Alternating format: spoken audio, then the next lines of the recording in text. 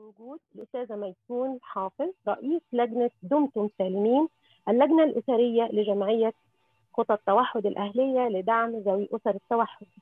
ويشرفنا تواجد الأستاذ عبد المجيد العمري رئيس قسم الخدمات الاجتماعية بمركز التأهيل الشامل.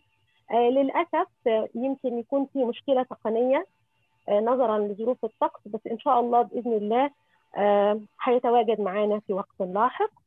نبتدي مع سعادة الدكتور خالد إدريس وهنتكلم في المحور الأول يا دكتور أهمية دراسة احتياجات المجتمع.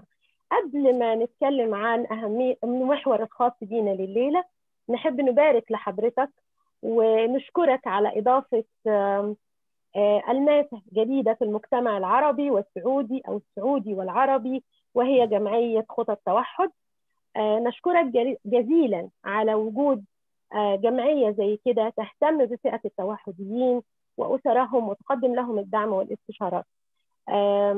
الجمعيات الأهلية لها بصمتها الخاصة في المجتمع وفي الإنسانية ولكن جمعية خاصة بالتوحد وبأهلهم وتقديم العون والاستشارة والرؤية البعيدة في المجتمع شيء جدا راقي.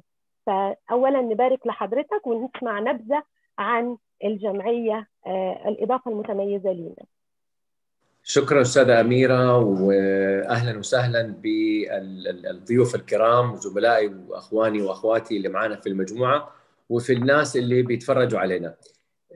طبعا أنا هنا ماني ك ماني خبير في التوحد ابدا أنا خبير كأب بإذن الله اللي كنت أول أقول طفل توحدي الآن اللي شاب توحدي زي ام عبد الله ما شاء الله ابنها كبير ما شاء الله تبارك الله ما شاء الله. 15 سنة. الفكرة حقت الجمعية فكرة واحدة إنه أنا ما أبغى أب أو أم فجأة يكتشفوا إنه ابنهم أو بنتهم في صامولة ناقصة شوية الصامولة ما هي مربوطة مضبوط الولد غير طبيعي أو البنت غير طبيعية. الكلمة التي تكرر كثير يجي يقولوا لي أنا ولدي أنا أنا ولدي في حاجة بشد شعري. كثير يعيدوها بأشد شعري. أنا ما أبغى أحد يشد شعره. أبغى أمسك أيادي الناس يكون في منظومة متكاملة عشان نساعد الناس. إحنا ما راح نحل مشكلة التوحد. إحنا بس نبغى نساعد الناس إن هم يتخطوا الصدمة الأولى رقم واحد. رقم اثنين نديهم خارطة للطريق ونعبد الطريق كيف يعني نعبد الطريق؟ في اليوم كنت براجع القائمة في منطقة مكة المكرمة في قرابة الثلاثين مركز رعاية نهاري. مراكز الرعاية النهارية هي التي تعنى بالتوحديين وزائد الإعاقات الأخرى لكن أغلبهم عندهم توحديين لأنه الدولة تدفع 35000 30000 لغير التوحدي و35000 للتوحدي في هذه المراكز. فالخدمه المقدمة بصفة عامة. أنا ما أبغى أخص أحد وما أبغاهم يزعلوا مني. الخدمة المقدمة بصفة عامة لا ترتقي إلى المستوى العالمي. وهذا يعني أنا أنا جزء من هذه المنظومة. فإحنا نبغى نحاول نساعد الأخوان والأخوات في مراكز الرعاية النهارية والمراكز اللي تقدم خدمات للتوحديين للارتقاء بالخدمات. العوائق قدامهم كثيرة جدا. جزء منها أعرفها وجزء منها ما أعرفها. فالمرحلة الأولى راح نبدأ بتقييم المراكز وبنحط الآن في طريقة للتقييم علمية رائعة جدا. ثم نبغى نجلس معاهم. ثم طبعا حناخذهم مركز مركز. ما حنقدر نسوي الكل مرة واحدة. بعدين نقترح عليهم. تفضلي. مظبوط يا فندم. هل حضرتك تفضل تصنيف المراكز. يعني زمان إحنا إحنا أصلا بنعتبر حضرتك خبير في التوحد منذ 15 عام. لديك. خبرة في التوحد ومجتمع التوحد منذ 15 عام. كان في سنة 2005 كان في اقتراحات اللي يتم تصنيف المراكز. يعني مراكز Down syndrome مراكز للتوحد مراكز للإعاقة الحركية مراكز للإعاقة. طبعا الإعاقات الثلاثة الأساسية البصرية والحركية والعقلية بدأت تتصنف بس إحنا دلوقتي في تصنيفات جديدة زي التوحد وال brain injuries وكده. هل حضرتك تؤيد تصنيف المراكز ولا تحب إن إحنا نخليها mix ولكن بخدمات متنوعة؟ لا لابد من تخصص المراكز. المركز اللي يخدم Down syndrome ما ي... ما يقدر يخدم التوحد. وما يقدر يخدم ال CP patient أو النقص الأكسجين. كل أه طفل له متطلبات مختلفة. ما ينفع نحطهم كلهم أه مع بعض. لا ده حيستفيد ولا ده حيستفيد غير إنه أنا عندي عقبة كبيرة جدا في المراكز في في فكرة المراكز ككل. في أغلب الدول في أغلب الدول المراكز هي ليست مدرسة. إحنا الآن بنودي الطفل الصباح نيجي ناخذه بعد الظهر كأنه مدرسة. هذا ما هو شيء مضبوط هذا شيء غلط. الشيء الصحيح إنه الطفل بيروح مدرسته اللي فيها دمج وبعدين يطلع بدري أو يروح متأخر المدرسة. المراكز دي المفروض تكون مراكز للمعالجة فقط وليس للتعليم. اذا أنا عندي عقبة ومشكلة مع المنظومة كلها لأنها منظومة لا تنطبق عليها المعايير العالمية. آه معليش. لسه ما عندنا مدارس كافية فيها دمج. فبتضطر المراكز إنها تكون مدرسة. معليش. شوية شوية حتتغير المنظومة هذه بإذن الله. بحول الله بحول الله المراكز بتواجه مشاكل. يعني أنا لازم أدافع عن الجزء الآخر. إحنا لا نتهم ولكن إن إحنا كلنا نسعى لارتقاء تقديم الخدمات وتميز وعدد النجاحات اللي تخرج من المج... من المخرجات المراكز دي. ولكن المراكز محتاجة خريطة بصرية خريطة بصرية للتشخيص وللتقييم وللتأهيل يا سلام. تحديد الف... ولتحديد الفئات.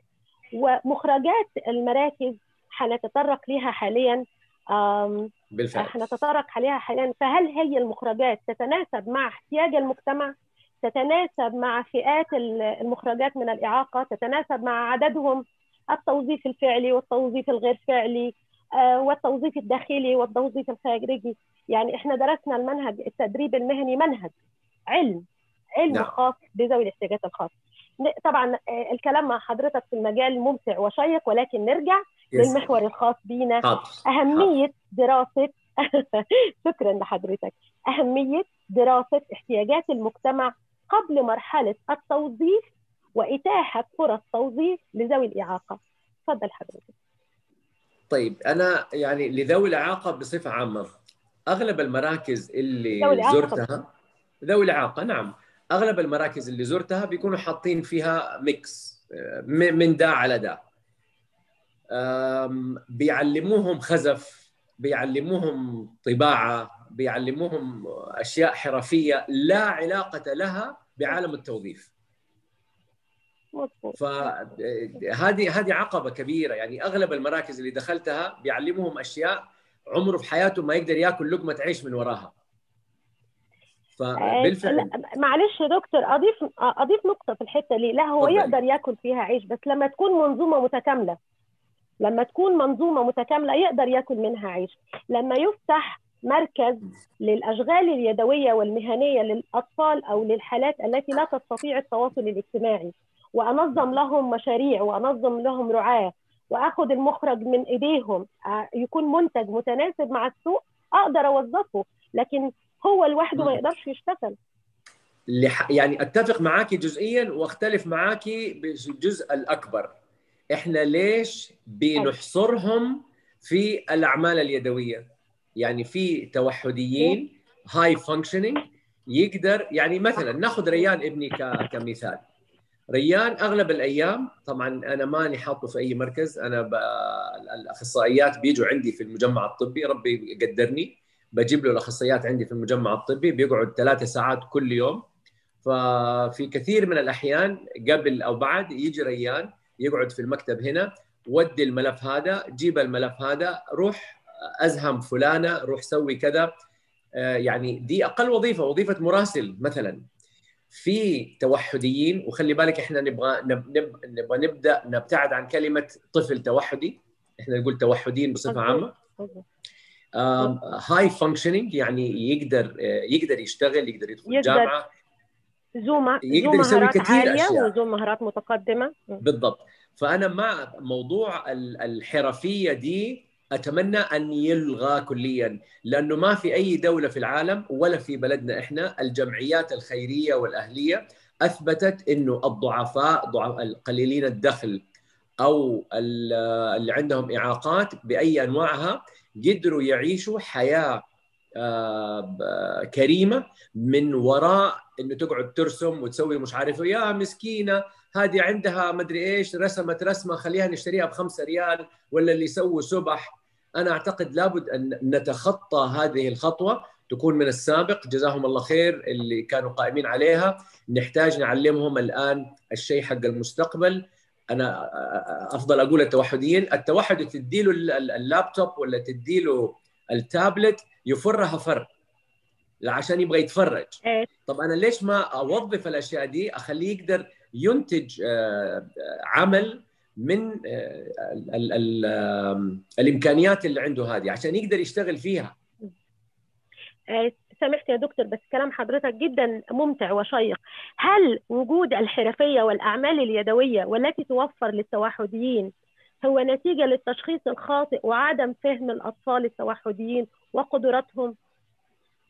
لا. للأسف المنظومة الحالية الموجودة اللي بتعلم الأطفال اللي عندهم إعاقات بشكل بغض النظر عن الإعاقة بتعلمهم أشياء حرفية هي منظومة قديمة عمرها 600 ألف مليون سنة ولا يزالوا. يعتقدوا إنه يبغوا يمشوا عليها يجب أن تلغى كليا ومش شرط إنه كل ذوي آه، ذو إعاقة راح يقدر يسوي آه، راح يقدر يطلع لمستوى إنه هو يقدر يتوظف في وقت ما ولكن موضوع الحرف ده أنا أتمنى لو يتلغي كليا ويتعلم ويسووا أعمال مكتبية أعمال إدارية.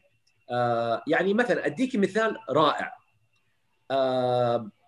جمعية ال- المكفوفين.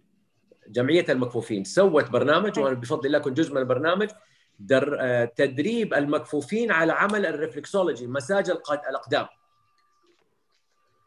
شيء تمام؟ هذه مهنة وليست حرفة. مضبوط. اليوم اليوم اليوم أحد الأخوان فتح محل اليوم الافتتاح حق المحل وعدت أروح لكن للأسف ما قدرت. اليوم فتح محل مجموعة أربعة أو خمسة مكفوفين أخذوا في الصيرة في مول آه، مساحة وحطوا فيها كراسيهم وأمورهم وهم الآن شغالين آه على فكرة مسوين ديسكاونت ب 44 ريال الجلسة هي سعرها. الاصلي أظن 50 ولا 60 السبت بروح السبت بإذن الله أروح. والله. روعة. فهذه رائع، رائع. وليست حرفة. أنا ما وليست صدقة. وليست. صدقة. وليست. صدقة. يروح يشتغل. فلا بد من إن إحنا نشوف إيش في أعمال يقدروا يشتغلوها وكل شخص على حدة لأنه أنت عارفة تختلف طبقات ال- ال- الإعاقة. كل إنسان على فندم. نشوف في المجتمع إيش يقدر يخدم في في المجالات المهنية الحديثة ونطلع من منظومة الخزف والرسم والكلام الفاضي هذا. ممتاز. إيه كمان حضرتك تضيفه في هذا المجال احتياجات المجتمع.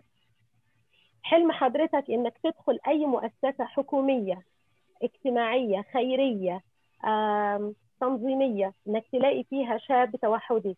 أو Down syndrome أو إعاقة أي نوع من أنواع الإعاقة سواء حركية بصرية سمعية. تشوفه بيشتغل بكفاءة ونشوف المجتمع حوالين منه. إحنا كوطن. إحنا كوطن عربي ومسلم. آه، لنا شفقة ورحمة وعطف على ذوي الإعاقة. ولكن الآن هم يحتاجوا مننا مش عطف ولا رحمة يا ولا عليك. هم يحتاجوا تقدير واحترام. وإدراك إن أنت مساوي ليا. أنا ناقصة حاجات وبلبس نظارة حضرتك. هو لابس سماعة أو قاعد على ويل تشير نشوف ابن حضرتك فين بعد أربع سنوات؟ بحول الله بحول الله ريان وقوته. غالبا حيكون شغال معايا في العيادة. أو شغال في بحول الجمعيه الله. يا في العيادة يا في الجمعية. بإذن الله. آه، ريان مهاراته الإدراكية رايحة ناحية ال- ال electronic وال figures ولا ناحية ال data entry ولا فين؟ ريان التوحد حقه وسط تقريبا فما أعتقد راح يقدر يسوي أي حاجة من هذه. آه، ريان راح يقدر يسوي روح جيب سوي أجلس وصل آه، ركب آه، ولكن ما أعتقد ال functioning أو مخه راح يوصل لمرحلة إنه هو يقدر يسوي حاجة مثلا طباعة خطاب أو شيء. ولكن ريان دائما يفاجئني. أنا ما كنت أتوقع إنه هو في يوم مثلا أكرمكم الله يدخل الحمام بنفسه أو يأكل بنفسه أو يغير حوايجه بنفسه. فاجأني في كل الأشياء هذه فيمكن يفاجئني أكثر في المستقبل. إحنا شغالين إن إحنا نطلع منه هذه المفاجآت. ولكن في المرحلة هذه الآن هو عمره 15 سنة. أعتقد حيكون شغله أكثر ودي وجيب وركب وحط من إنه هو يقدر. مع إنه ذاك اليوم أنا ماني عارف أشغل الريسيفر حق ال OSN أخذها من إيدي وشغله. فهل هذا التعلم ولا هل هذا ما شاء الله تبارك الله ما شاء الله. لا إن شاء الله حيفاجئك كثير. نبتدي بمراكز نبتدي بمراكز التدريب ولا نبتدي بالمؤسسات التوظيفية؟ إنها تدينا جوب بريسكريبشن عن الأطفال عن الحالات اللي يمكن دمجهم. يعني أنا أحتاج وقت وظيفي من المؤسسات؟ لا لا لا ابدا. إحنا نبدأ بالتدريب ونبهر المؤسسات بالإمكانيات حقت حقت الفئة هذه. لأنه لو جيتيني أنت أنا عندي معرض مفروشات مثلا وقلت لي إيش اللي تبغاه لا إحنا نأهلهم وأجيبهم لما يروح هو الشاب أو البنت من نفسها تسوي مقابلة شخصية وتبهرهم بالإمكانيات اللي هي تقدر تسويها غير عن التحفيز اللي جاي من الدولة في في, في السعودة مثلا وفي بيعطوهم في الضمانات في التامينات الاجتماعية بدون كثير أشياء في تحفيز من الدولة آه لابد مو هنا يجي أنا ما أبغى صدقة أنا ما بدي صدقه أنا أبغى يشتغل أنا أبغى أؤهله إنه يقدر يطلع ويشتغل. الآن صاحب العمل لابد انه يكون متفهم. هذا الإنسان عنده احتياجات أكثر من الإنسان من الناس الثانيين كلنا عندنا احتياجات. هذا عنده احتياجات أكثر. فأنا أدي له وظيفة تتطابق مع إمكانياته وقدراته بكل احترام وأصر عليه إنه هو يقدم كل شيء بالحرفية بأعلى درجة من الحرفية اللي هو يقدر عليها. فأنا أعتقد نغير طريقة التدريب التقليدية اللي موجودة في المراكز ونبدأ نعلمهم مهن وليس حرف عشان يخدموا نفسهم في المستقبل. آه نصيحة تقدم من حضرتك لأولياء الأمور آه لأولياء أمور ذوي الإعاقة بشكل عام والتوحد بشكل خاص. الأب جزء لا يتجزأ من تطور آه الطفل المعاق. صحيح. كلامي صحيح. للآباء ولا مؤاخذة كلامي للآباء سامحوني في الكلمة خليكم رجال لا تتركوا الهم على المرأة، المرأة يس نعم هي ربة المنزل ولكن يد الرجل مع يد المرأة لتحسين وضع هذا هذه الهدية اللي جات من الله سبحانه وتعالى. أزعل جدا إنه في معظم الاجتماعات ألاقي سيدات الدنيا والآخرة رجال ولا اثنين. وتلاقي إنه المعاقين اللي الأم والابو يد بيد شايلين المهمة تلاقي التوحدي ده أو المعاق أفضل بمليون مرة من اللي راميه أبوه وشايلته أمه فقط وما بال اللي يرموه الاثنين. الله يستر عليهم. الله يستر علينا جميعا يا رب. شكرا يا دكتور. آه شاكرة وجود حضرتك رغم انشغالك وأهنيك مرة ثانية على الجمعية. إن شاء الله هتثبت تواجدها وتثبت بصمتها المميزة بإذن الله. شكرا لوقت حضرتك وشكرا لتواجدك معنا ولوقتك الثمين شكرا يا فندم. شكرا شكرا للجميع. أهلا بحضرتك أهلا بحضرتك. الآن ننتقل للمحور الثاني مخرجات التدريب للمؤسسات التدريبية وأهمية التدريب المهني مع أستاذة ميسون. أهلا ميسون حافظ. أهلا أيوة. بيكي أستاذة ميسون. أهلا آه فيكي أستاذة امير أستاذة ميسون رئيسة لجنة دمتم سالمين اللجنة الاسريه لجمعية خطى التوحد. الأهلية لدعم لدعم أسر ذوي التوحد. حضرتك زميلة الدكتور خالد. أهلا نعم. وسهلا. آه الحقيقة الدكتور خالد من من من أفضل الآباء اللي رزقوا بشاب توحدي. أيوة. والحقيقة يعني إنجازاته معاه يشهد لها الكثيرين. ما شاء الله عليه ريان من جد يعني هو توحد متوسط لكن ما شاء الله تبارك الله يعني باين عليه المجهود اللي بذل معه. الحقيقة أنا حابة كنت أتكلم في موضوع اللي هو المخرجات التدريبية في المؤسسات التدريب وأهمية التدريب المهني. في البداية كنا لما نقوم بتشخيص الحالة أو تقييمها ينتهي الموضوع فينا إن إحنا نوجهه إلى المركز على أساس انه هو يتدرب تمام؟ وندرب الطفل أو اللي هو تم تشخيصه ندربه على أساس القدرات أو المهارات اللي تم قياسها والاختبارات التي طبقت معه. تمام؟ الحقيقة أنا اليوم أبغى أتكلم عن نموذجين. لو قلنا نعم لو قلنا إنه عندي أنا نموذجين من الأطفال اللي تم تطبيق التقييم معهم والتشخيص وتوجههم إلى المركز تمام؟ نموذجين مع عائلتين. أول نموذج بنتكلم عن عائلة دخلت طفلها إلى المركز التدريبي وبدأت معاه التدريب ومشيت معاه في التدريب الين الحدود اللي توقف فيها الإنجاز إذا نقدر نقول. آه هذه العائلة ما اعتمدت كثير على الاختبارات اللي تطبقت مع الطفل بقدر ما اعتمدت على آمالها وطموحها. طبعا هذا الشيء آه مع الأهالي ما في أي أحد يقدر يوقف آه طموح الأهل إنهم هم يبغوا ولدهم يوصل لمراحل عالية. طبقت معاهم التمارين التدريبات الأساسية واستمروا في نفس المركز يتدربوا على نفس المهارات وتوقفت الإنجازات. هنا نلاقي نفسنا أو نلاقي الأسرة هذه أصيبت بالإحباط. وحتى الشاب لما بنوصل طبعا في عمر الشباب لأنه بيوصلوا مثلا 12 13 سنة الطالب التوحدي أو الشاب التوحدي أو ذوي الإعاقة يعني إذا قلنا تأخر عقلي بشكل عام أو Down syndrome بنلاقي عندهم توقف في المرحلة هذه لأنه هنا للأسف كمان عندنا إنه المراكز بتوصل لعمر 12 سنة بيخرج من المركز بيروح مركز تأهيل مهني وللأسف هي معدودة فعلا على الأصابع اليد الواحدة عندنا هنا في السعودية في منطقة مكة المكرمة. ويستمر على موضوع التأهيل إنه هو يتدرب تمام؟ طبعا تدريب أكاديمي. طبعا بيتوقف عن مرحلة معينة ما يقدر ينجز عندها. يقول به الحال إنه هو قاعد فعلا في المركز وعلى قول دكتور خالد بيتعلم يلضم سبح أو يرسم على الخزف أو المهام هذه اللي هي يعني ما أصبحت تؤكل العيش زي ما بيقولوا. مع إني أتفق مع أستاذة أميرة معك أستاذة أميرة إنه هي منظومة متكاملة. إذا تمت فعلا في في المجتمع حتكون ناجحة جدا. ولكن للأسف هي حتى الان وخاصة يا أستاذة ميسون مع الحالات ذوي القدرات المتوسطة. نعم نعم. أو الإعاقة العقلية المتوسطة والشديدة. لا نعم. يمكنهم لا يمكنهم التواصل. يعني يمكن توظيفهم من خلال مهنة ولكن لا ما هياش الوظيفة الوحيدة أو المهنة نعم. الوحيدة.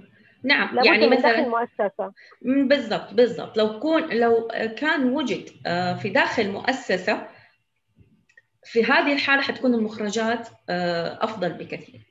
خلينا نكمل على الأسرة أو النموذج الأول والنموذج الثاني. النموذج الأول اتفقنا أنه هو وصل لمرحلة يشعر بالإحباط والشاب خرج من المركز ما في مراكز تستقبلهم يقعدوا في البيت تبدأ الانتكاسات. تمام؟ يبدأ الإحباط وتبدأ المشاكل تزيد الشاب مثلا التوحدي أو ذوي الإعاقة.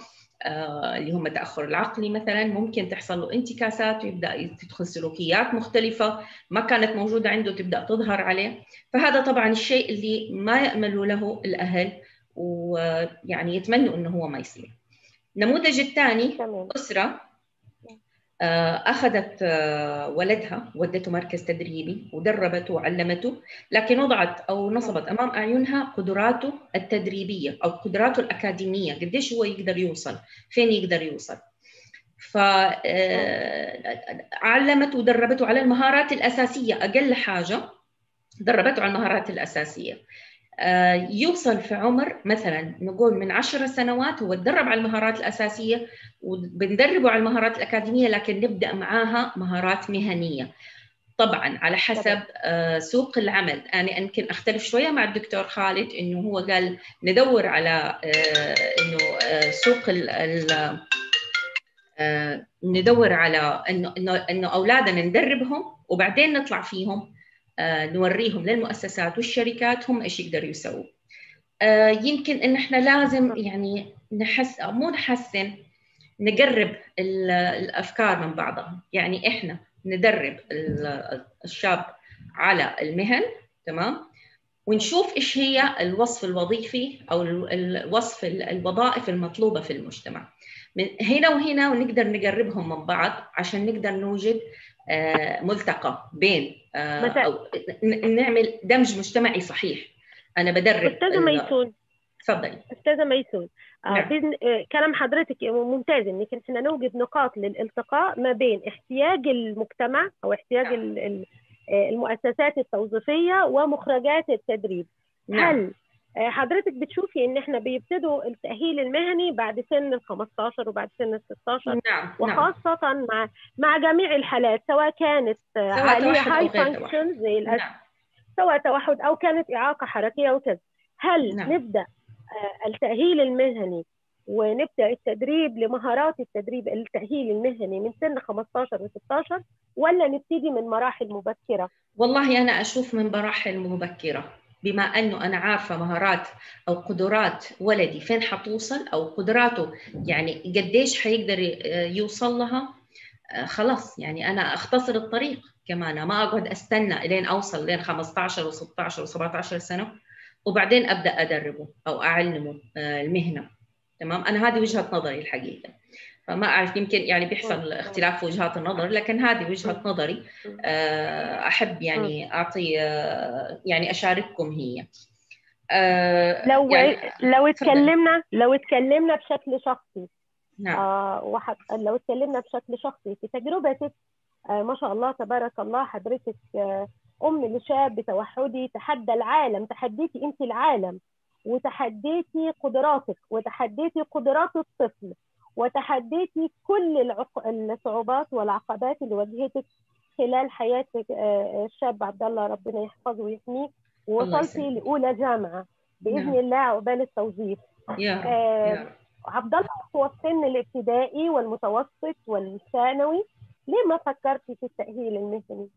والله هو الحقيقة كان عبد الله وضعه كان ماشي في المدرسة. يعني كان okay يعني ماشي. حتى لو على ال minimum إنه انجازاته بس كان ماشي فيها.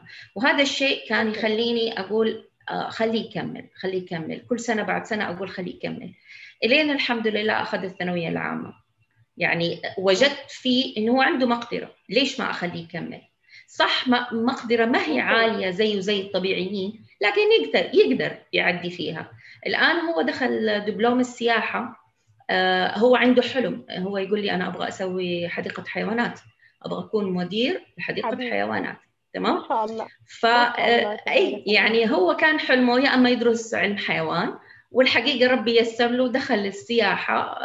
أحس إنه السياحة قربت مرة من الهدف اللي هو يحلم فيه. وإن شاء الله ليش لا؟ يعني أنا يعني إن شاء الله إن شاء الله أقدر أحقق له حلمه هذا وأعمل له فعلا حديقة الحيوانات اللي هو يحلم فيها. فأنا يعني اللي أشوفه يعني فعلا إنه الأهل لازم يشوفوا ولدهم إيش قدراته ويمشوا عليها. أنا بالنسبة لي أنا كأم أتطلع أهم حاجة عندي إنه ولدي يكون سعيد تمام؟ وسعادته إنه هو يندمج في المجتمع. إيوه أنا ممكن يكون سعيد في المجتمع إنه هو يندمج فيهم بس إنه آه ممكن آه المجتمع نفسه ما يتقبله. هذه نقطة مرة مهمة عندنا طيب. تقبل المجتمع له. آه. فايوه فهذه هذه نقطة جدا جدا مهمة. ف يعني أنا بس كنت حابة نكمل الفقرة اللي هي إنه تفضل. إنه الأسر اللي بتكمل على اللي هي انه هو يدربوه على مهاراته أو قدراته قدراته نقدر نقول وندربه على أساسها بتكون أسرة بينتهي بها الحال انها أسرة ارتاحت وكانت سعيدة أو صارت سعيدة في حياتها والشاب أصبح مستقل بذاته يقدر انه هو ينجز. سواء كان عنده مقدرة أو ليست عنده مقدرة. آه ما شاء الله ريان يعني أخذه كمثال إذا كان كمل بالمهارات هذه اللي الدكتور دربوا عليها ويقدر إنه هو يكمل فيها في العيادة ممكن يوصل لمرحلة الاستقلالية. صح ولا لا؟ آه، أستاذة ميسون دايما حالات التوحد طالما معاها جهد وتدريب ومحطوط خريطة للمهارات الأساسية والمهارات الاستقلالية. بعد فترة من التدريب الأطفال أو الشباب بيفاجئونا. بيفاجئونا بقدرات جديدة وبطاقات جديدة. نعم. فزي ما الدكتور بي دكتور زي ما دكتور خالد بيوضح لنا إن هو فاجئه في استخدام الريموت واستخدام الأجهزة الكهربية ودي دلالة على إن الشاب ذاكرته البصرية مرة عالية وإدراكه البصري مرة عالي.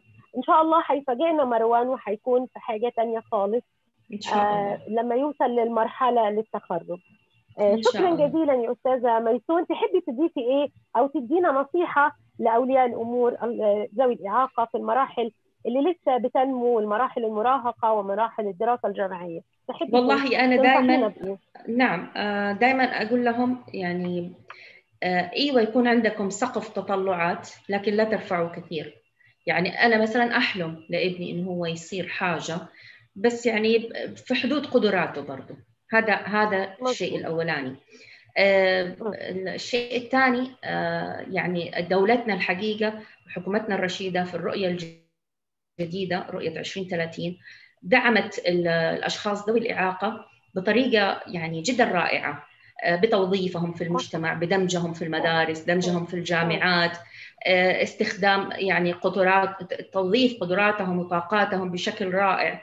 فإحنا لازم كأهالي نستغل الشيء هذا وناخذ حقوق أولادنا بطريقة يعني كاملة. يعني هذا الشيء جدا جدا رائع الحقيقة وما يعني ما تلاقيه في أي دولة من دول العالم.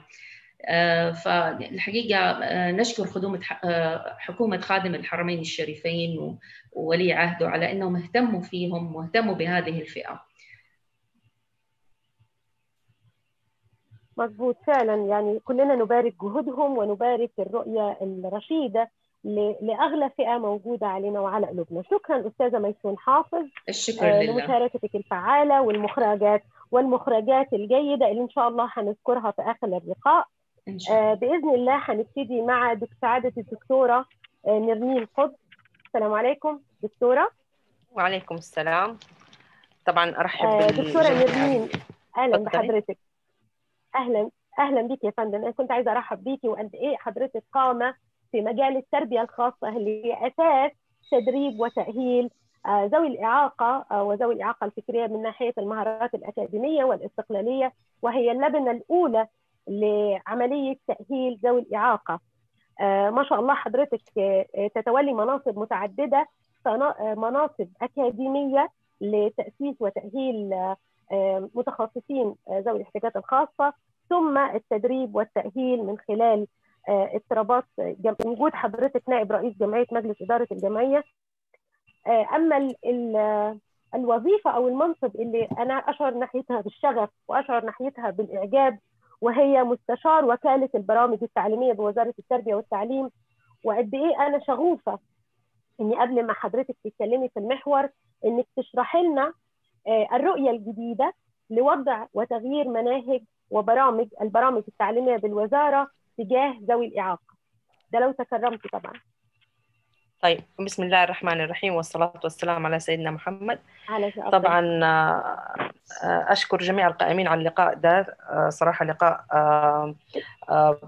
ثري جدا ويحاكي مشاكل كثير في المجتمع إحنا بنعاني فيها مع أبنائنا من ذوي الإعاقة. فكرر شكري للجميع. مداخلات دكتور خالد مداخلة الأستاذة ميسون. كان لي بعض التعليقات عليها بس بداية وكالة البرامج التعليمية في وزارة التعليم قسم أو إدارة التربية الخاصة بتعني بشكل كبير بكل ما يخص ذوي الإعاقة من برامج وتطوير مناهج و متابعة لحالات الطلاب والأسر وبتحاول تخلق مبادرات ذي صعوبات كثيرة من بينها آخر مبادرة يعني يشهد لهم يعني فيها اللي هي الدمج بين الخدمات المساندة في جمعية الأطفال المعاقين الأمير سلطان وبين الخدمات في وزارة التعليم في مراكز الخدمات المساندة والمدارس أيضا سعيهم الآن لتطوير برامج السكن الداخلي لاستقطاب الابتعاث أو استرجاع أولادنا في الابتعاث. هذا طبعا كلها أشياء يعني مناقشة وينشغل عليها وبإذن الله في القريب أو في فترات زمنية متقاربة نشوف تسارع في الخدمات هذه. طبعا التعليم الشامل. المدارس الشاملة الآن برضو بيطلق مبادرات للعمل عليها. وهي طبعا في شوية لبس بين الدمج بين برامج الدمج وبين التعليم الشامل. لو سمحتوا لي بس في ثواني التعليم الشامل هو عبارة عن مدرسة تقبل جميع الفئات ومجهزة لجميع الفئات. بينما الدمج الشامل بيكون برامج محددة داخل يا كلية فصول ملحقة. حتكون في تنوع في أنماط التعليم في الدمج. في المدارس الشاملة وفي المعاهد والمراكز وفي السكن الداخلي بإذن الله رؤية 2030 تخدم ذوي الإعاقة بجميع فئاتهم. يمكن أنا أشوف الجاب أو الإشكالية في نقل الخبرات. بما يتوافق مع تحليلنا لمتطلبات المجتمع. بمعنى إني أنا عندي خبرات المفترض أنا أكتسبها وأنقلها. بحيث إني أقدر أوفي هذا الكم من الخدمات. ويمكن هذا اللي ممكن أعلق عليه بالنسبة للدكتور خالد لما قال في فرق بين التدريب الحرفي والمهني بالفعل إحنا لازم نحلل متطلبات المجتمع ونوصف المهن ونساعد لخلق برامج وفق هذا التوصيف وندرب ويكون في تكاتف وتداخل بين مطالب الأسر وبين دور الجمعيات في الموضوع ده. وبين دور المؤسسات التعليمية وخص بالذكر أقسام التربية الخاصة وما تدخل به من خبرات ممارسين درسوا خارج المملكة العربية السعودية في أماكن متعددة عندهم خبرات جدا ثرية ممكن يطوعها يعني نطوعها لخدمة أولادنا من ذوي الإعاقة. طيب. آه نرجع للمحور بعد إذنك يا أستاذة آه طبعا. آه طبعا. آه إحنا محورنا هو كان الشق الثالث من مثلث التأهيل وهو إحنا في البداية مع دكتور خالد كنا عايزين نعرف احتياجات المجتمع ومقارنة مع مخرجات التدريب آه للمجتمع. الشق الثاني اللي اتكلمنا فيه مع أستاذة ميسون آه أهمية التدريب المهني وكيفية توجيه ذوي الإعاقة لأي مجال من مجالات التدريب سواء كان مجال تدريب تدريبي وأكاديمي أو مجال مهني. الضلع الثالث من المثلث هيكون تقبل المجتمع. كيف نهيئ المجتمع أو نحدث تقبل براجماتي تقبل عملي تقبل فعلي زي ما ذكرنا قبل كده إحنا كمسلمين وكعرب بنتقبل بنتقبل ذوي الإعاقة بالعطف وبالحنان وبالرحمة ولكن لا نتقبلهم بإيمان بقدراتهم فكان المحور الخاص بسعادتك اللي هو التقبل المجتمعي الصحيح ومعرفة قدراتهم وحقوقهم داخل المجتمع. تفضلي تمام. تعليقا على التدريب المهني. إحنا بنخلط دائما بين التدريب المهني مهارات التدريب المهني ومهارات ما قبل التدريب المهني. فأعتقد اللي كانت تقصد الأستاذة ميسون المهارات ما قبل التدريب المهني لأنه حق طبيعي حتى لو كان شخص ذوي إعاقة إنه يعيش مراحل التعليم كاملة ونبدأ نأهله كتدريب مهني في المرحلة العمرية والجسمية والمعرفية المناسبة ل آه للشخص حتى وإن كان ذوي إعاقة. طيب دكتورة آه ممتاز تفضل ممكن اتداخل أنا فعلا هذا كان قصدي بالمهارات الأساسية إيه؟ فيمكن صحيح. عشان كده بس توضيح للنقطة نعم نعم لأنه لا لا نيجي من بكرة نلاقي كل الأمهات والآباء حاطين لنا الأولاد أبو سبعة وتسعة سنين في مهارات مهنية و... فهي الفكرة بالفعل إنه إحنا في مهارات ما قبل التدريب المهني وهذه اللي نعم. جميعنا كآباء وأمهات حنسعى لإكسابها أبنائنا. طيب آه بشر الجميع. طبعا سقف آه طموحات الأسر ارتفع جدا. ما عاد أنا أنا عندي عيادة بقابل فيها بعض الأسر على سبيل استشارات أو تقييم لأبنائهم. اليوم كنت خارجة من العيادة وأبو طفل لما قلت له مؤشرات تقييم ابنك تتجه ل اضطراب لاحد الاضطرابات النمائية وحنستنى فترة ملاحظة عشان نتأكد من المؤشرات هذه. فوجئت برد الأب جزاه الله ألف خير قال أنا اعتبره هذا هدية من الله سبحانه وتعالى. أنا حرمت من أخي ذوي الإعاقة توفي قبل قال لي قبل فترة قريبة. وفرحت الآن يا دكتورة إنه انت بتقولي لي إنه ابني طبعا في مشكلة معينة. طبعا هو ما فرح بالمشكلة فرح بالأجر اللي حياخده من وراء دعمه لابنه لأنه كان أخوه في حياته يمثل له شيء كبير وافتقده برحيله. فسبحان الله أنا حالة إنسانية وقفت منها يعني حتى ما يعني لثواني صابني الذهول إني كيف أرد أو كيف أستوعب. فجزاه الله الف خير وبالفعل في آباء نماذج مشرفة. آه وحندخل في موضوع الآباء هذا يبغى له جلسة ثانية وإيش السايكولوجي اللي بتصير عندهم لما بس عودة آه لموضوعنا هذا اللي نبدأ فيه. طبعا خالد دائما عنده حساسية من الموضوع هذا. بس بس الآن يا دكتورة وإحنا على الهواء أخذنا وعد بمناقشة توجهات الآباء مع ذوي الإعاقة من حضرتك. يعني ده يعتبر وعد وعد مباشر. شكرا كده ما عاد ما عاد يجوني العياده يا أستاذ لا بالعكس. لا لا يا حبيبتي حضرتك قيمة. وتوضيح للرؤى. يعني يمكن إحنا بنشوف رؤى مغلوطة عن الآباء. لكن هم في حقيقة الأمر فعلا. يمكن المرأة بتعبر عاطفية وبتعبر بانفعالاتها وبكائها و و لكن الأب بيكون في أصعب حالاته عندما يقع عليه الخبر وجزء كبير من من هذا السلوك بيكون نوع من أنواع الهروب أرجع لمحوري التقبل المجتمع الصحيح طبعا إحنا قلنا ارتفع سقف المجتمع والأسر الاثنين المجتمع عند سقف متطلباتهم تنوعت آه القصد إنه في أشياء كثير ممكن أنا أدرب أولادي عليها في المجتمع عشان أدمجهم. إذا أبغى دمج آه واقعي وصحيح ويكون المجتمع متكامل آه في أو في تكاملية بين وجود الشخص ذوي الإعاقة وبين الخدمات أو المتطلبات اللي تحتاج فيها المجتمع. فصار في انفتاح وتنوع في هذه المتطلبات كثير يعني ممكن ورشة عصف ذهني نطلع يمكن فوق خمسين آه مهنة ممكن نبدأ نشتغل عليها. طيب مقابل هذا سقف طموح الأسر أرتفع. أنا ما عاد صرت أفكر إني أبى أدرب أو أأهل مهنة. أنا بفكر ابني كيف يوصل للجامعة. أنا بفكر كيف ابني يتزوج. آه كيف أدمجه في مهنة؟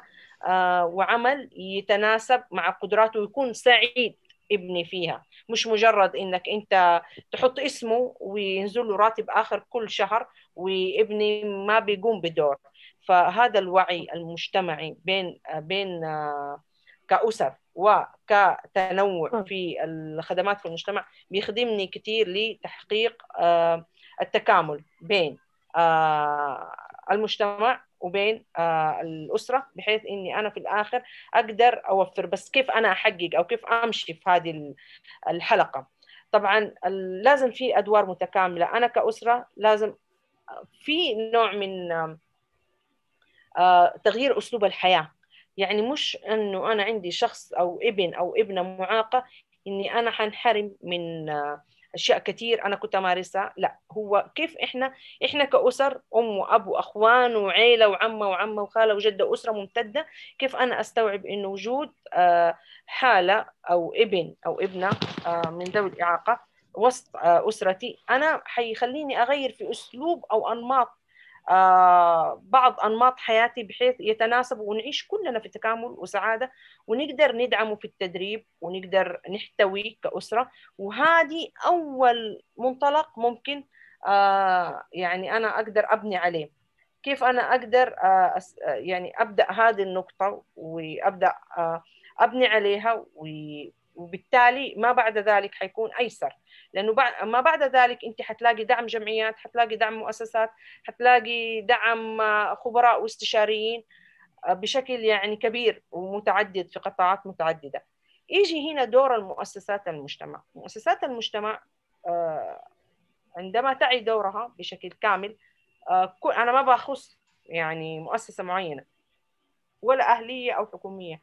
كل شخص يملك مؤسسة لازم يستوعب دوره من ناحية اجتماعية ومن ناحية وطنية ومن ناحية دينية.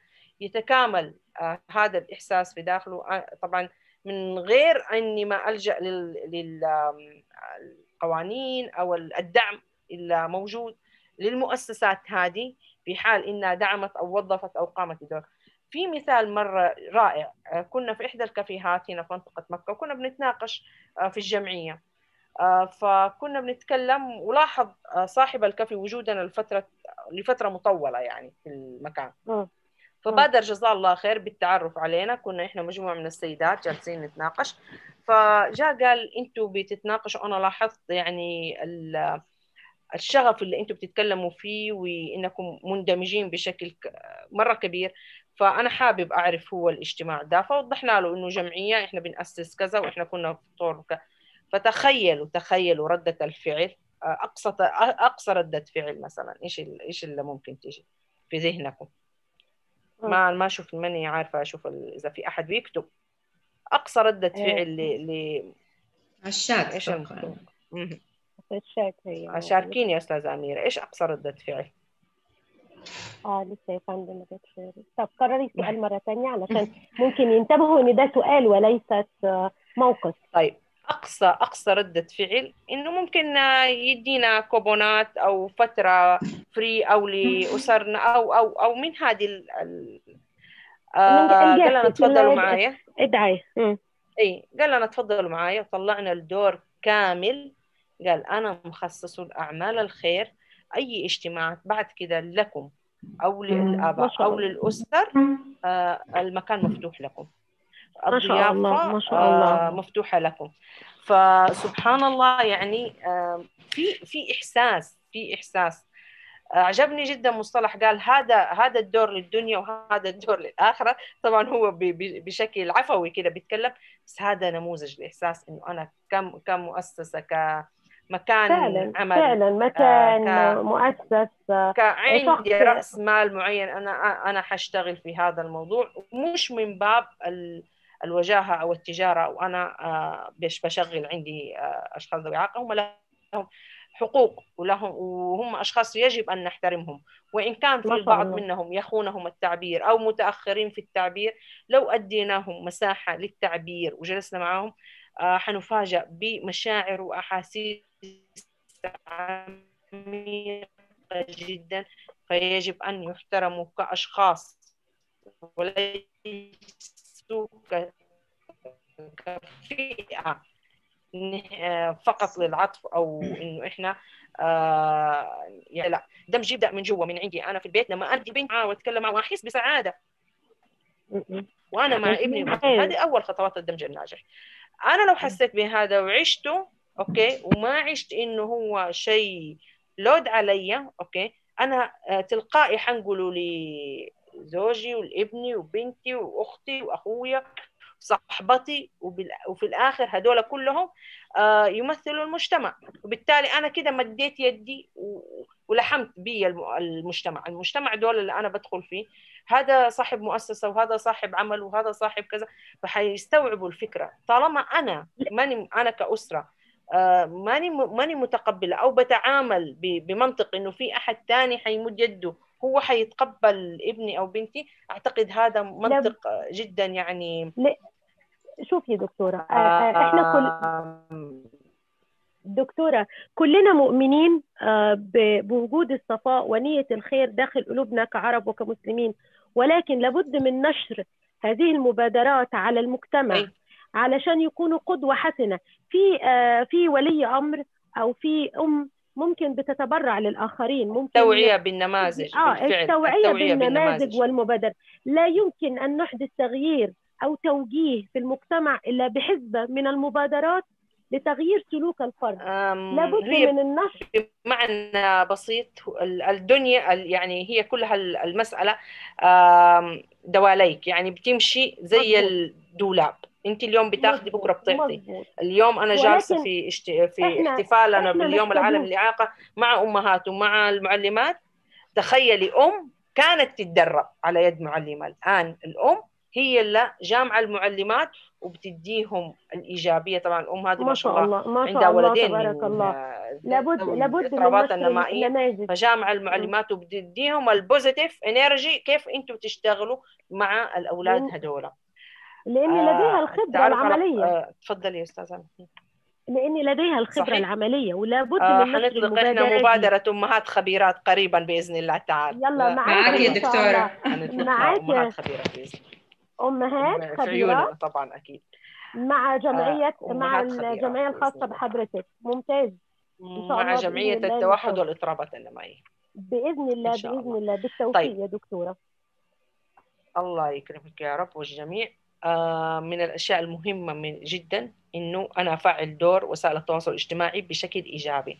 أنا كثير أستاء لما ألاقي آه، استخدام وسائل التواصل الاجتماعي بشكل لا يخدمهم. استعراض نماذج أنا ما ما- ماني عارفة الهدف من منها إيه. آه، بستعرض نماذج آه، بهذه الطريقة ليش؟ طيب أنا لو. بدي أظه- آه، أظهرهم أظه- أظهره كشخص يمتلك آه، آه، قدرة يمتلك موهبة يمت- يمتلك قدرة يعني يقدر يتكلم عن نفسه ويوافق أصلا على هذا الموضوع. أنا بتعامل مع الموضوع بشكل آه، ما أبغى أو أوصفه لأنه كل كل واحد يعني أكيد ليه أهداف ربما تكون أهداف طيبة لكن إحنا مش هذا اللي نبغاه لأولادنا إحنا نبغاهم يطلعوا بشكل في برامج متخصصة اللي كيف أنا أدرب الشخص ذوي الإعاقة إنه يعمل انترفيو أنا ما أجيبه وأصوره بس عشان أنا أستعرض حاجة معينة أو فع- فعالية ما. فتفعيل آه، وسائل التواصل الاجتماعي بشكل إيجابي يخدم الأشخاص ذوي الإعاقة مو جدا مهم. آه، تفعيل آه، أو إطلاق مبادرات من المؤسسات والأفراد. أيضا جدا مهم آه، حتى المبادرة لو كانت صغيرة تأكدي إنها بعد فترة ما أو وقت معين مؤثرة. حتكبر وحتنتشر مؤثرة م. وحتأثر بالفعل ولو أثرتي أنت في واحد حيأثر الواحد في خمسة والخمسة حيأثروا يأثروا في عشرة بالعكس وهكذا. وممكن يكونوا مبدعين آه، كمان وي...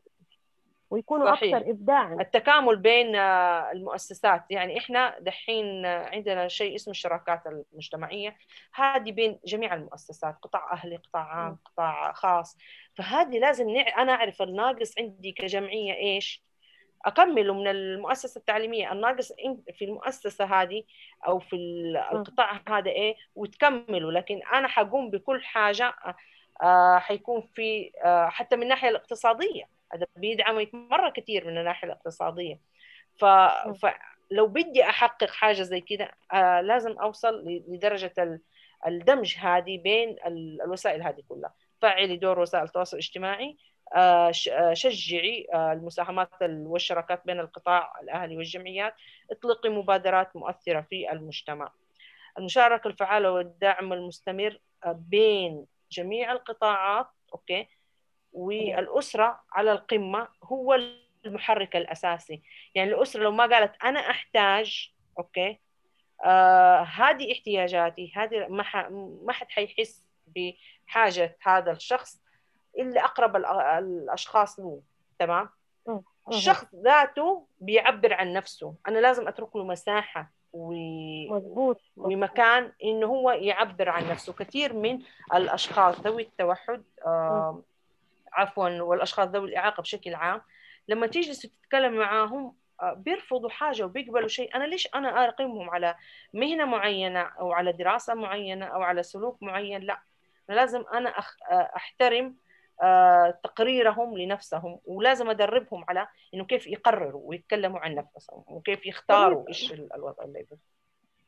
حابة يعني أدعي الجميع بإذن الله تعالى يوم الأحد حتنطلق فعاليات الملتقى جامعة أم القرى للإعاقة آه، على مدى ثلاث أيام.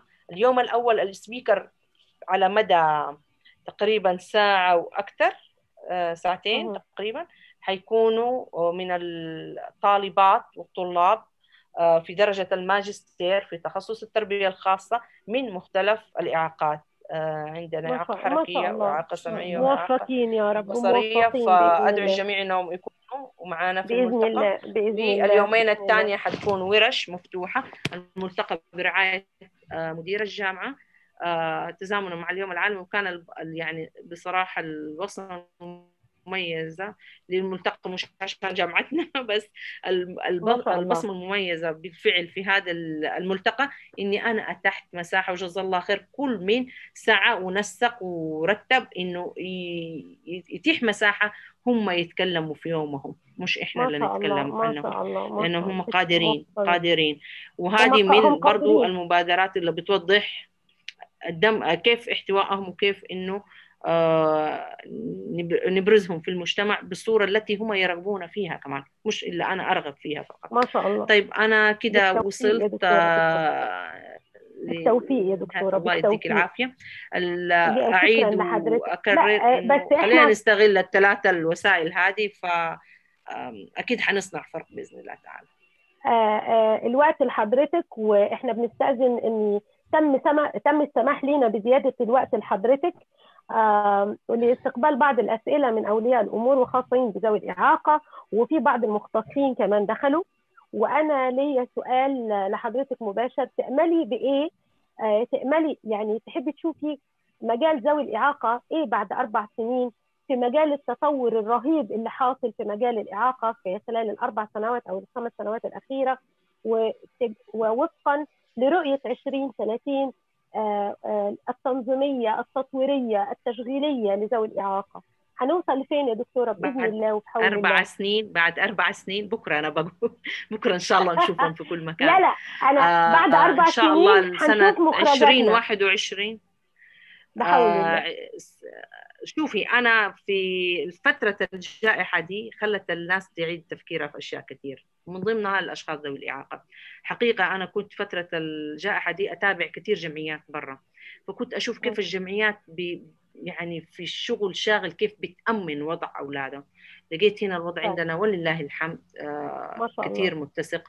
جلست أفكر كيف إنه آه التفكير هنا كيف إحنا بنزيد كفاءة التعليم آه كيف بنزيد كفاءة آه الترفيه. تفضلي.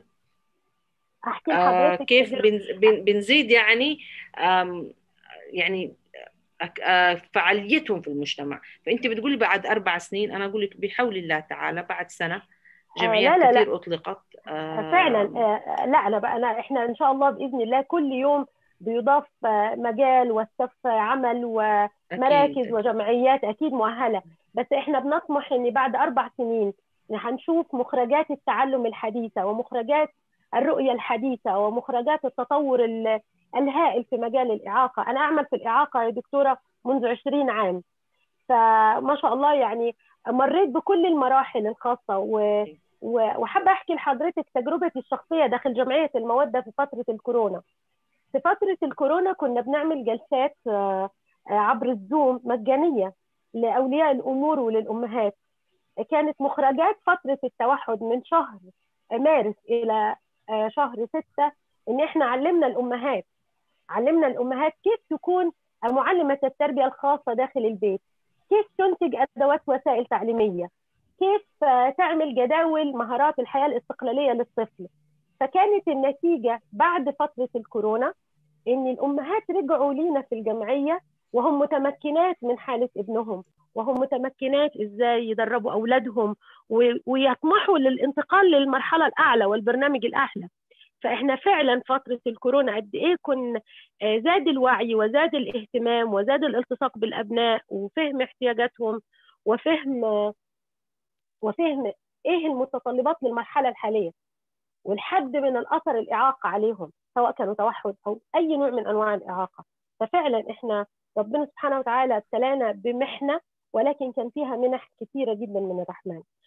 دكتورة احكي لنا عن أمهات الخير مبادرات أمهات الخير لأن إحنا هنشترك أمهات خبيرات أمهات خبيرات. أمهات خبيرات أنا اسفه أمهات خبيرات أرجو هذه مبادرة حنطلقها أيوة. بإذن الله تعالى إنه كل أم أيوة. عندها خبرة تزيد عن في مجال الإعاقة. آه لسه ما ما وصفنا طبعا المبادرة بشكل كامل بس التصور العام لها إنه كل أم عندها خبرة تزيد عن عدد معين من السنوات في مجال محدد. آه، تمتلك مهارات آه، القدرة على التدريب ونقل الخبرة هذه. بما واجهت مع ابنها وبما واجهت خلال هذه السنوات وإذا كان عندها تمرس في في نوع معين من المهارات بنتيح لها مجال انها تدرب المعلمين والمعلمات والأخصائيين وأمهات اللي هم المستجدين في المرحلة العمرية دي. مثلا هي مجموعات الدعم هي زي مجموعات آه بس حتكون حتكون لا حتكون أكثر بشكل يعني شوية خلينا نقول منظم أكثر من مجموعات الدعم. لا حتصير على نمط دورات وشغل منظم بحيث إنك تعرفي إني أنا أبغى الأستاذة فلانيه أو أم فلان لبحث مشكلة مثلا البلوغ تكون هي مرت بجميع المراحل ونكون إحنا مشرفين ممتاز. على الخط التدريبي تبع تبع البرنامج حقه وبالتالي حيكون التجربة أقرب وأوثق وأقوى. فهذا يعني نموذج إن شاء الله. ربنا يعني يبارك لنا في الجهد والوقت ونقدر نحقق هذا ربنا يبارك لكم ويوفقكم يا رب. هي الفكرة إنك اطلقي أيضا عندنا ورش حتكون بنشتغل عليها ورش مهنية مقطوعة أو قصيرة للشباب فوق 12 سنة بحيث إنه نخليه يجرب أكثر من حاجة. إحنا بنتوجه للأسر وبنتوجه لنفس الحالات. في الحالات أو أو ذوي آه. الإعاقة نفسهم حنعمل لهم ورش مهنية قصيرة بحيث يجرب أكثر من آه ورشة في فيش ارتاح وفي إيش حيقدر آه يعني يكمل بعد كده. آه هو علشان ما نتع... إحنا بنسأل عن الورش ديت عشان هنطلب من حضرتك بوست عنها علشان هنحول حالات كل الحالات اللي ممكن نحولها لحضرتك يشتركوا في المبادرة لأن الورش المهنية مش فقط علشان يعمل بها ولكن الورش المهنية بتعلم الطفل اكتساب المهارات أو الحالة بشكل صحيح. عام. بتعلم الحالة اكتساب المهارات تدريب ال fine motors والعضلات البسيطة. كمان بتدي للأم طاقة إن ابنها قادر على إنتاج شيء قادر على شغل وقته بشكل فعال ومناسب وإيجابي أفضل من الجلوس على آه ال social media. صحيح. جمعية حضرتك موظفة كام حد ذوي إعاقة؟ آه لا هي الجمعيه انطلقت لها سنة الآن. إحنا آه لسه الآن آه لا مش مش توظيف. آه حنطلق التدريب ليهم. آه برضو من المبادرات إنه حنشتغل عليهم هم الأشخاص ذوي الإعاقة يكونوا مدربين. فحنشتغل على مبادرة مبادره بإذن الله تعالى. وطبعا أكيد أي حاجة حتتم حننشرها في حسابنا الرسمي للجمعية. بس وانت بتتكلم يا أستاذة أميرة لقيت الله يكرمك لقيت سؤال في أستاذ بيسأل بيقول ما ما مدى فائدة التدريب الرياضي مثل ركوب الخيل؟ أي رياضة أي أنا رياضة. لسه أنا عندي أسئلة لحضرتك كتير. بس هذا است...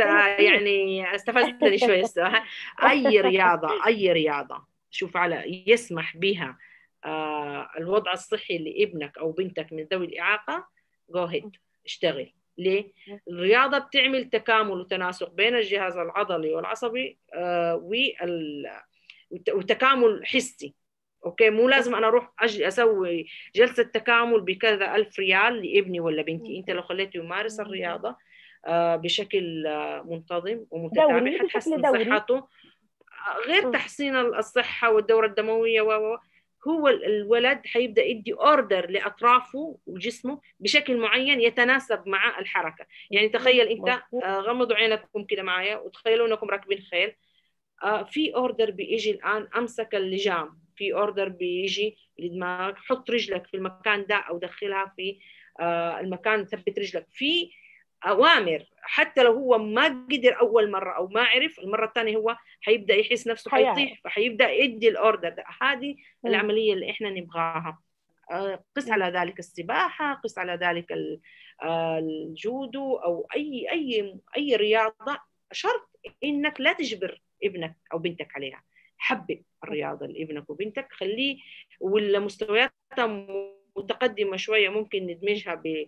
ب... بالصحة بالشكل. إحنا اشتغلنا على هذا الموضوع مع بعض الحالات آه على شكلهم. إنه كيف تبغى تخلي شكلك جميل وحلو وينقص وزنك.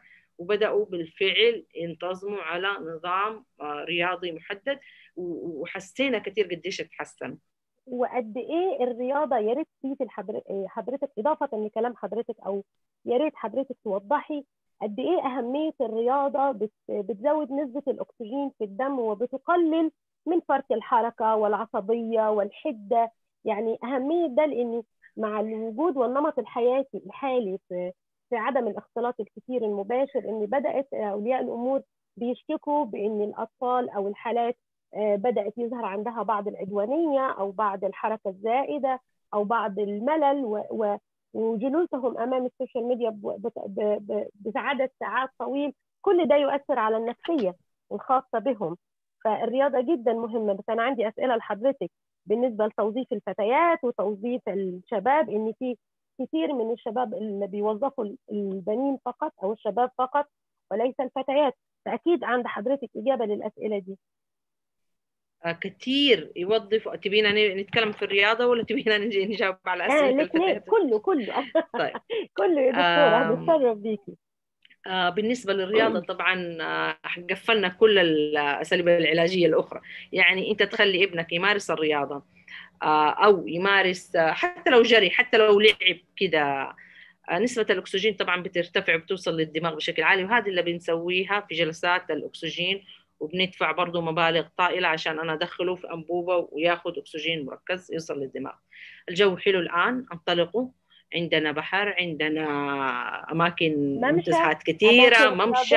انطلقوا انطلقوا في الفترة هذه. خلي خلي أولادنا يشموا هواء نقي خلي أكسجين بيدخل آه ليهم. والواحد لو سواه بشكل دوري. آه بالنسبة للجزئية الثانية من آه توظيف الفتيات أكثر من الفتيان أو سوري العكس الأولاد أكثر من البنات. آه هذا راجع كمان لبعض آه أو طبيعة المجتمع والأسر. يعني كثير تلاقي الأسر متخوفة على بناتها إنه طب كيف أوظفهم؟ طب كيف يروحوا؟ كيف يجوا؟ في نوع من التخوف. على على هذا الموضوع. بينما الإبن أو الشاب بيكون في شوية آه أقل مخاوف. طبعا هذه أنا من خلال جلستي ومناقشتي مع الأمهات أو الأسر بيكون هذا التوجه آه لديهم. يعني الإبن ممكن يروح ويجي حتى لو في تخوف بس مش زي التخوف إنه على الفتاة، الفتاة أكثر ما يميلوا إنه يوظفوها في أماكن مغلقه آه زي عندك المدارس زي عندك في قطاع المدارس أو قطاع الروضات وال اللي هي مثلا السنتر النسائي. بيكون مثلا يعني مكان يكون نسائي بشكل بحت بكثير من الأسر بيميلوا لتوظيفهم في هذه الأماكن. في في بعض الأسر تتجرأ يعني ممكن تكون في مكان مختلط أو مفتوح بس حقيقة أنا أجدها قليلة وربما يعني مع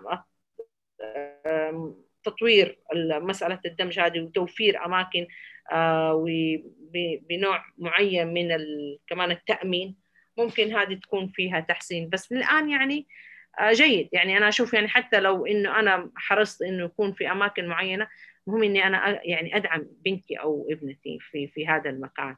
يعني أكون وراها ومش إنها بس رايحة المكان بس إنها تقضي وقت. الوضع للأبناء طبعا أيسر بكثير وأسهل بكثير صراحة يعني. بالنسبة للوظائف بتاعتهم الخاصة بيهم وكده. آه شكرا دكتورة. آه أنتظر النصيحة والوصية لكل أسرة لديها ذوي إعاقة ونصيحة أخرى لكل صاحب مؤسسة أو صاحب عمل آه كيف يدمج ذوي الإعاقة بكامل حقوقه الإدراكية والفكرية والإنسانية إنه هو يقرر طريقة عمله. أحتاج نصيحتين من حضرتك. بالنسبة لصاحب العمل خلينا نبدأ من الأخير. ممتاز, آه ممتاز. لصاحب لجميع أصحاب العمل. آه لو وافقت الرؤية العلمية والعملية مع آه النية الصادقة ربنا حيكرمك في عملك فوق ما تتخيل. يعني بس نفذ الموضوع بشكل علمي وعملي صحيح. عندنا متجر تكوى في منطقة في مكة المكرمة. الآن وأنا بتكلم معاكم في فعالية مقامة من الساعة آه تسعة للساعة عشرة أو عفوا من الساعة ثمانية لعشرة بدعم آه فريق من أعضاء هيئة التدريس بقسم التربية الخاصة. آه المقهى هذا كل كل العاملين فيه من ذوي الإعاقة. آه على الجانب الثاني لو ختمنا لجميع الأمهات والآباء آه أحبابي وأعزائي خليكم إيجابيين وربنا حيجبر خواطركم آه أكثر بكثير من ما بتتمنوا. بس الواحد يكون حسن الظن بالله ويشتغل. ما مش أنا يعني أدعي وأنام لا أدعي وأعمل. أكيد ربنا حيكرمك. إن الله لا يضيع من أحسن عمله. ف يعني إحنا حنشتغل وحنشوف في أولادنا أشياء تسعدنا أكيد. طيب شكرا لك يا أستاذة أميرة شكرا لجميع المنظمين على الفعاليه شكرا جزيلا لتواجدك وشكرا لعطائك الثري كما عودتينا وشكرا لبصماتك الخالدة إن شاء الله بإذن الله في مجال ذوي الإعاقة. وأخذنا وعد بأن إحنا هنشترك مع أمهات خ... أمهات خبيرات مع حضرتك. بإذن الله تعالى. وبإذن الله وفي كافة المبادرات الخاصة بذوي الإعاقة تتشرف جمعية المودة باستضافة حضرتك ومبادرات حضرتك في أي وقت بشكل عام وأميرة بشكل خاص. شكرا يا فندم شكرا جزاك الله كل خير. آه الحمد لله انتهت. آه الحمد لله. آه بنختم آه أمسيتنا اليوم الأمسية الرائعة بوجود كوادر آه أمثال الدكتور وأستاذة ميسون ودكتورة آه نرمين قطب آه ربنا يحفظها. بأن إحنا هناخد مخرجات المحاور اللي صدرت عن كل متحدث مخرجات الحوار مع دكتور خالد انتهت إلى المهن الحرفية أو التدريب الحرفي. لا تتناسب مع احتياجات المجتمع ولا تتناسب مع قدرات ذوي الإعاقة بشكل عام. المخرج الثاني أن التدريب بالتدريب ومخرجات التدريب الجيدة نبهر مؤسسات العمل بأداء هذه الفئة. تغيير طريقة المهن وليست تغيير الحلف. يعني إحنا نغير طريقة العمل للفرد أو للطفل أو للحالة ذوي الإعاقة. طريقة عملها هي اللي هتجذب صاحب العمل إنه يتبناه ويؤازره ويدعمه داخل عمله.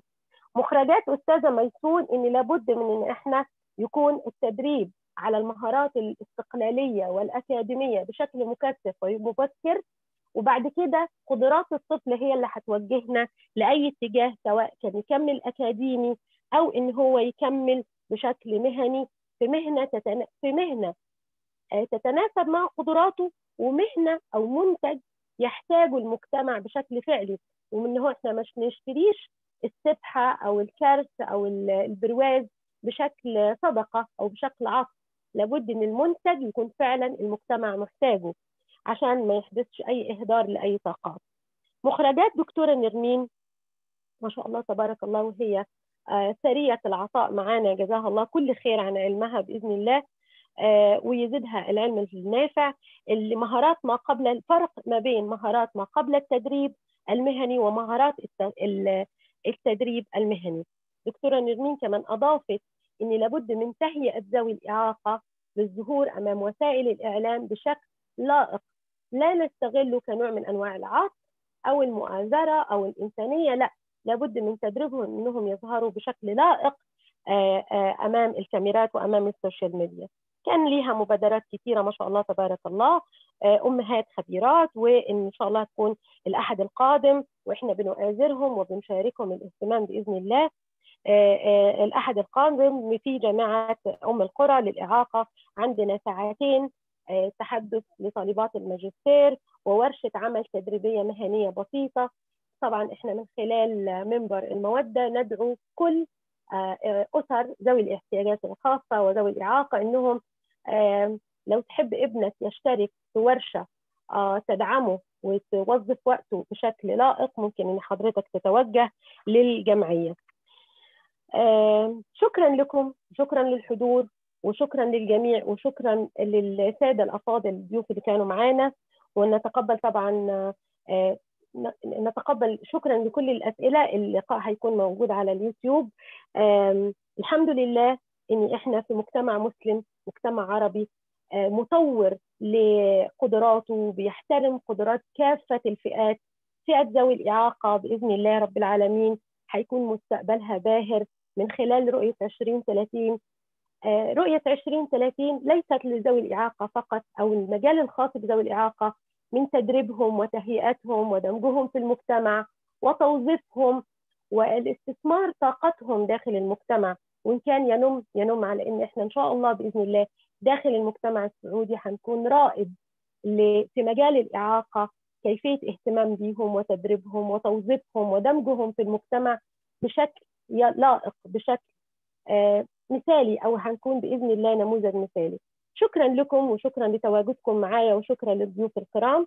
كانت معكم أميرة عبد الحكيم جمعية المودة قسم اضطرابات الطفولة. شكرا والسلام عليكم ورحمة الله.